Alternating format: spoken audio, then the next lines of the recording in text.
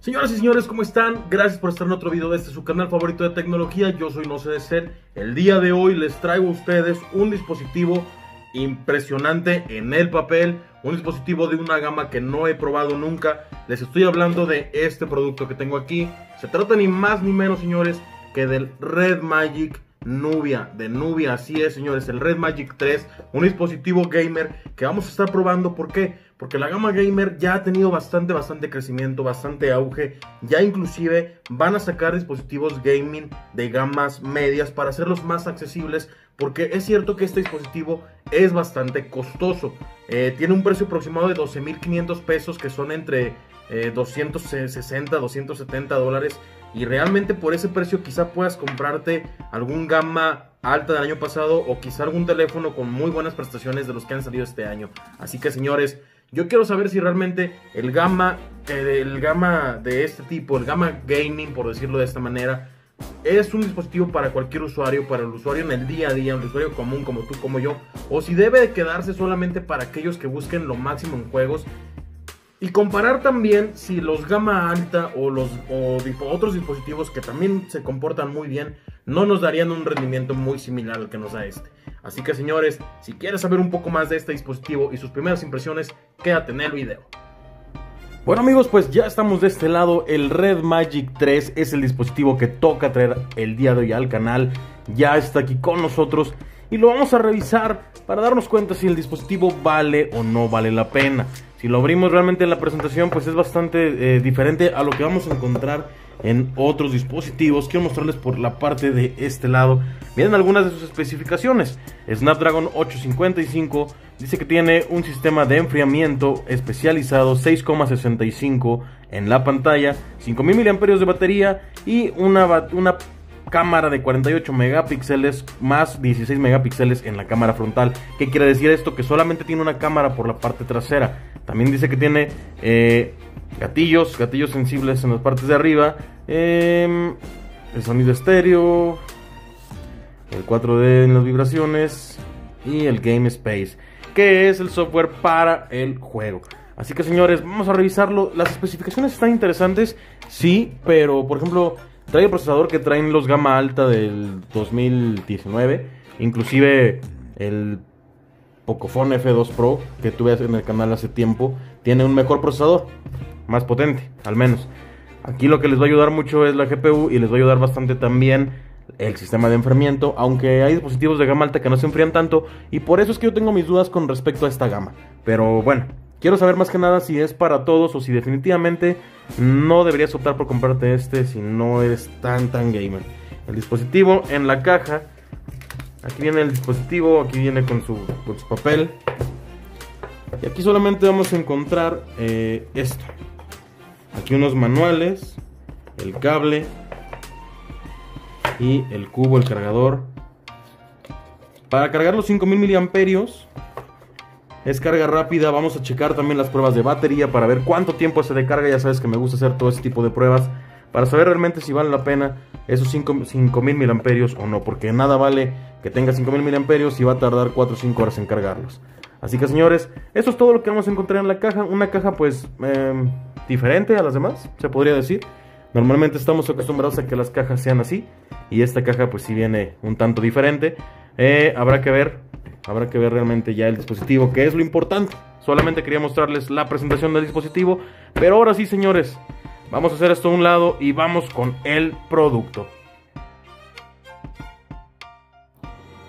Señores, pues aquí lo tienen ya. Este es el Red Magic 3 de Nubia. Una pantalla, señores, muy bonita. Me llama un poco la atención que tiene unos marcos o unos márgenes muy, muy, muy notorios en la parte de arriba y en la de abajo. Esto definitivamente tiene una razón de ser de la que les hablaré más adelante. La pantalla es de 6,65 Full HD 2340 por 1080 píxeles, es AMOLED a 90 Hz, señores. La tasa de refresco es de 90, así es. Y eso le va a ayudar bastante en el tema de los videojuegos. Aquí pueden ver ustedes el margen del que les estoy hablando en la parte superior, el marco bastante, bastante marcado. Y en la parte de abajo también lo vamos a encontrar bastante, bastante amplio. Esto, uh, pues realmente a mí no sé si me termina de gustar, pero tiene una razón de ser para el tema de los videojuegos. Ahora, en la parte trasera, fiel, fiel, fiel al 100% en un estilo gaming, con las lucecitas también ahí que traen todas las computadoras. De hecho, asemeja bastante el diseño a lo que es un portátil gaming. Me gusta bastante, tiene lector de huellas en la parte trasera, ahí el logo de la marca que también se ilumina si tú lo configuras. Y el diseño pues es bastante fiel a eso, a un teléfono gaming. Solo tiene una cámara, un flash también. Y vamos a empezar ya con las especificaciones de este gran producto, señores. Bueno, señores, ya lo tengo aquí, ya les hablé un poco de la pantalla. 6,65 pulgadas, ya se los comenté, una tasa de refresco de 90 y la verdad es que me gusta mucho la calidad, los colores que nos va a ofrecer el dispositivo es bastante, bastante bueno. Únicamente a mí en lo personal no me gusta tanto este espacio aquí. Sin embargo, tiene una razón de ser y es que al momento de tomarlo no llegues a hacer realmente eh, algún toque accidental en esta parte. Para eso principalmente es, ahora también es porque aquí en, en ambas partes tenemos los altavoces estéreo, señores. Altavoz, doble altavoz frontal. Aquí y aquí lo vamos a encontrar con un sonido que promete bastante. Realmente se ve bastante, bastante interesante. De este lado vamos a encontrar los gatillos en la parte superior y en la parte inferior para que a la hora de tomarlo en esta posición pues puedas disparar o puedas ponerlo para lo que tú quieras a la hora de jugar. Aquí encontramos también unos orificios porque este dispositivo tiene un sistema de refrigeración líquida y aparte tiene un ventilador. Así es, señores, cuando tú estás jugando con él, se va a escuchar el ventilador que va a empezar a funcionar si lo activas y eso te va a ayudar a que el dispositivo no se caliente en absoluto, en lo más mínimo. Ahora, por la parte de atrás, llegamos a notar que el diseño pues tiene aquí unas manchitas, eh, unos puntitos ahí parte del diseño. Es, ah, pues, esto es como un plástico, realmente se siente como, como plástico. Eh, no sé si sea aluminio realmente, pero se siente como plástico en realidad. Tiene el lector de huellas también aquí, una sola cámara y eso eh, pues realmente a mí me sorprende bastante porque hoy en día la tendencia es tener 3, 4, 5 cámaras en un dispositivo y en este solo encontramos uno. Entiendo que va enfocado al gaming, pero podría ser más versátil, quizás si tuviera dos, tres cámaras, no sé, un gran angular al menos, eh, pudiera ser mejor. Pero no, no lo tiene. Solamente vamos a encontrar una cámara y será de 48 megapíxeles, un sensor Sony. Eh, tenemos dual LED también y tiene la capacidad de grabar videos en 8K. Slow motion también a 1920 FPS, bastante, bastante lento. Pero ah, no lo sé. El hecho de que solo tenga una cámara, habrá que hacer pruebas realmente para ver qué calidad nos va a ofrecer. Tampoco me gusta el hecho de que el lector de huellas esté en la parte trasera. Creo que pues por lo que vamos a pagar por el dispositivo podría bien estar ya en la parte frontal como en muchos otros casos. La cámara frontal que tiene en la parte de aquí arriba, señores, es de 16 megapíxeles con una apertura focal de 2.0. Las dimensiones y el peso. El dispositivo eh, es bastante pesado, hay que decirlo pesa 215 gramos, es de los dispositivos más pesados que hemos tenido en el canal. Eh, mi última referencia puedo decirles el Pocophone F2 pesa 219 gramos, es un poco más pesado y pues sí se siente. Realmente este dispositivo pues es delgado, entonces no se siente tan pesado y me sorprende que para tener un ventilador sea realmente muy muy delgado. Ahora señores, recordemos que estamos hablando de un teléfono gaming. Así que podemos esperar el mayor rendimiento posible. Cuenta con un Snapdragon 855 y una GPU Adreno 640 para hacer el trabajo pesado, para hacer todo el trabajo de procesamiento de los gráficos en los videojuegos que junto con su pantalla de 90 de refresco van a hacer bastante bien todo el tema de los videojuegos y aquí también vamos a darnos cuenta de que tiene 8 GB de RAM y 128 GB de almacenamiento. Hay versiones que tienen 6 GB de RAM con 64 y otra que tiene 12 con 256 de almacenamiento. Son las tres versiones que podrás encontrar. Ahora, decir también que tiene una carga eh, de 5000 mAh que permite carga rápida de 27 watts. Ya descargué yo aquí unos videojuegos, voy a estar probándolo, voy a hacerle bastantes, bastantes pruebas, pero en general el dispositivo se ve bien. El sistema que tiene es el Red Magic OS 2.0. Eh, se ve bastante fiel a lo que sería un Android puro. Se ve bastante limpio el, sistema.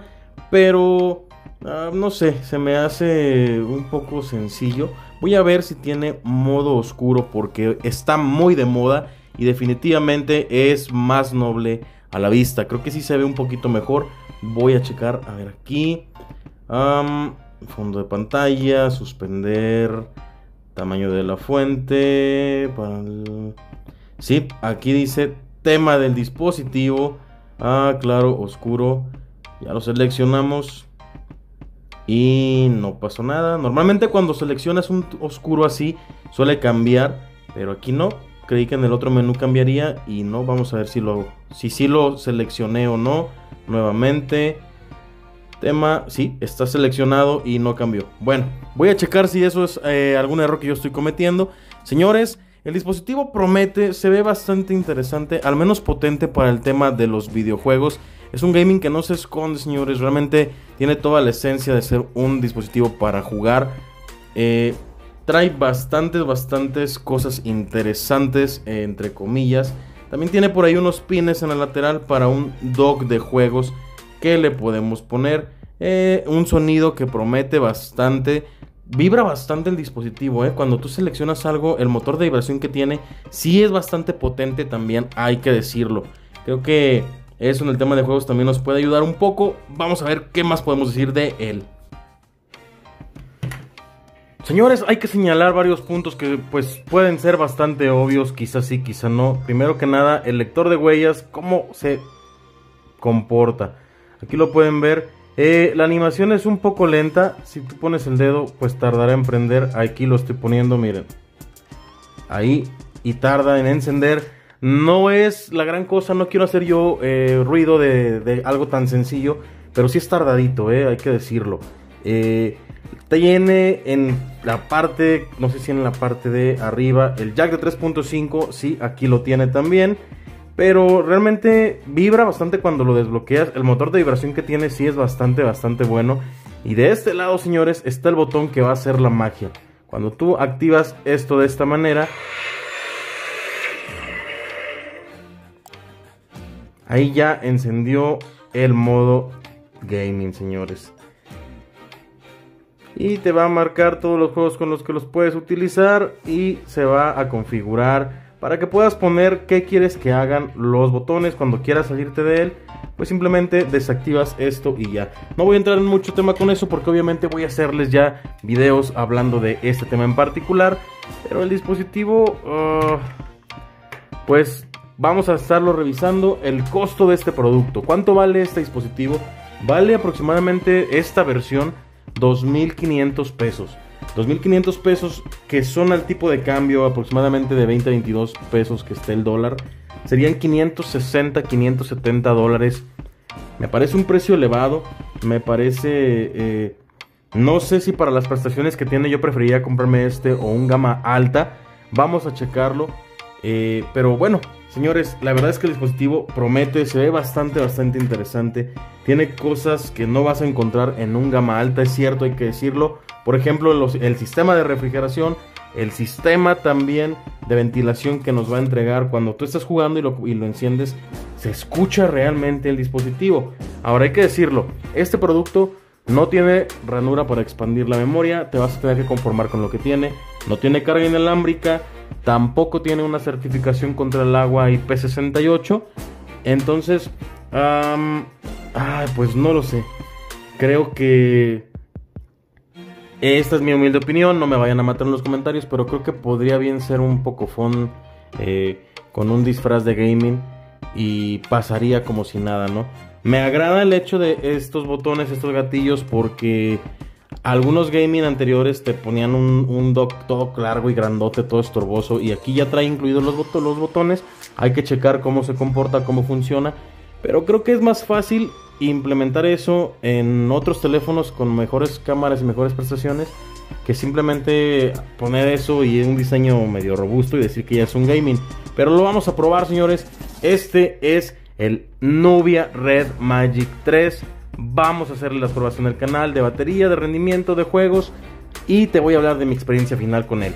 Esto ha sido todo por mi parte. Si te ha gustado el video, no olvides suscribirte, activar la campanita, dale like al video y déjanos todos tus comentarios. Comparte con todos tus amigos para que el canal siga creciendo y te sigamos trayendo dispositivos más interesantes.